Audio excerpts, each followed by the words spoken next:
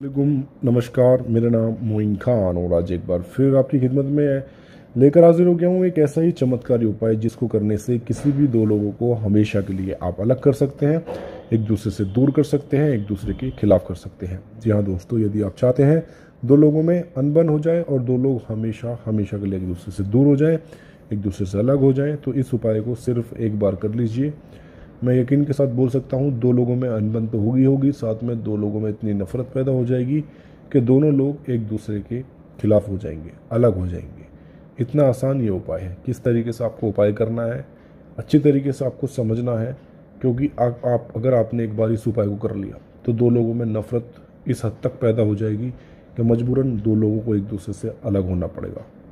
जी हाँ दोस्तों इस उपाय को अगर आपने एक बार मज़ाक में भी कर लिया तो भी इस उपाय के माध्यम से दो लोग अलग होंगे होंगे। आप देख रहे हैं, ये कटोरी में नमक है, ये कागज़ है, और लिखने के लिए कोई भी स्केच पेन चलेगी। सिर्फ़ इसके माध्यम से आप दो लोगों को हमेशा के लिए अलग कर सकते हो, एक दूसरे से दूर कर सकते हो, एक दूसरे के खिलाफ कर सकते हो।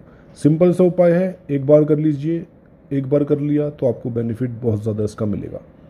कैसे मिलेगा, मैं आपको बता देता हूँ। देखिए, सबसे मेन चीज़ क्या होता है, कैसे होगा ये उपाय, ध्यान से ये देखिए, ये समझिए। ये नमक ले लिया आपने।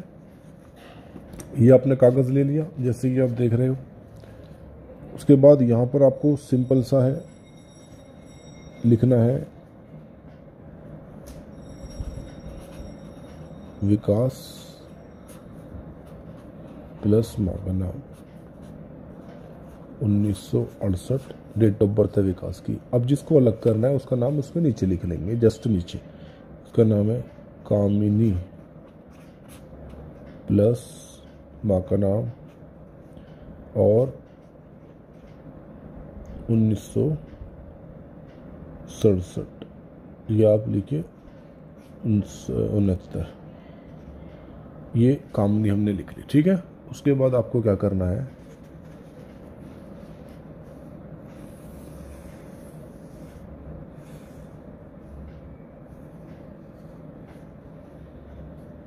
ये आपको एक सर्कल बना लेना है। सर्कल के बीचम बीच उसके अंदर गोला बनाना है।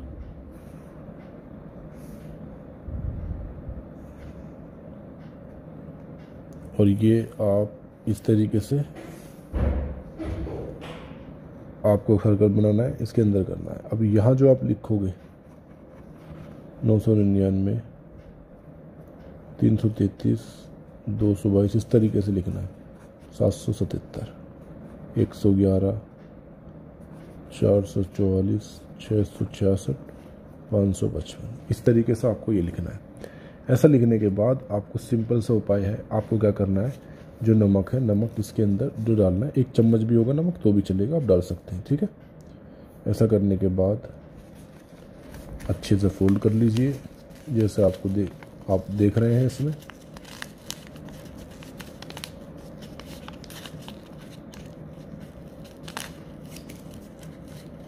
तरीके से आपको फोल्ड करना है और इसको चलते हुए पानी में बहा देना है। ऐसा करने से आप किसी भी दो लोगों को हमेशा के लिए अलग भी कर सकते हो, एक दूसरे से दूर कर सकते हो, एक दूसरे के खिलाफ कर सकते हो। तो उपाय कीजिए, फ़ायदा लीजिए। नमस्कार। अलैक्म